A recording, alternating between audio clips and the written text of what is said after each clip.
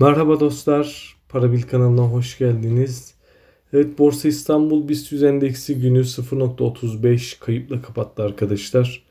9312 puandan kapattık. 9500 hedefine bugün de yaklaşamadık maalesef.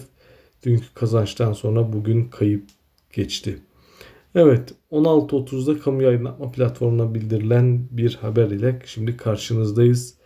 Fuzul Gayrimenkul Yatırım Ortaklığı Anonim Şirketi maddi duran varlık satımı ile ilgili bir bilgilendirmede bulundu. Evet iyi bir satış yapılmış. Güncelleme düzeltme ya da ertelenmiş bir açıklama değil.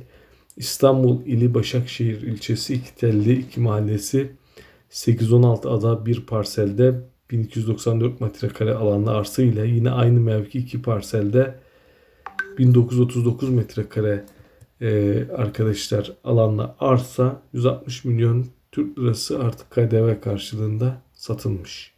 Evet önemli bir gelir. Zaten bu şirketlere bunun için siz üye oluyorsunuz. E, para yatırıyorsunuz arkadaşlar. Değerleme raporu 149 milyon olarak belirlenmiş. Karşı taraf Fuzur Tasarruf Finansman Alan Şirketi. Şirket içerisinde yani Fuzur Gayrimenkul'dan Fuzur'un farklı bir şirketine satılmış. 160 milyon Türk lirası artık KDV karşılığında. Evet.